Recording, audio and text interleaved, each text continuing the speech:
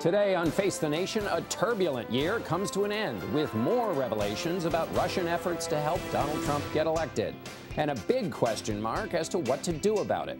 Before heading off for a Hawaiian Christmas vacation, President Obama publicly acknowledged what U.S. intelligence has been hinting for weeks. Not much happens in Russia without Vladimir Putin. Mr. Obama said that he personally told Putin to knock it off and vows to retaliate. But the Obama presidency is coming to an end, and his successor still won't accept that Russia is guilty of tampering with U.S. elections. But President elect Donald Trump is accepting the thanks of those who voted for him. He finished his thank you tour by paying his respects to supporters in the Deep South. They're saying, as president, he shouldn't be doing rallies, but I think we should, right? We've done everything else the opposite. Is that any way to run a presidency? Henry Kissinger thinks maybe so.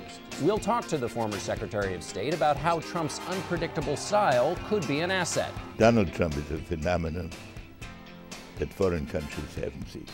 Plus, former Obama National Security Advisor Tom Donilon weighs in on the global challenges facing the new president. And author Graeme Wood discusses his new book on ISIS. Top Trump aide Kellyanne Conway discusses the transition and will have a conversation with writer Ta-Nehisi Coates about Obama's legacy. It's all ahead on Face the Nation.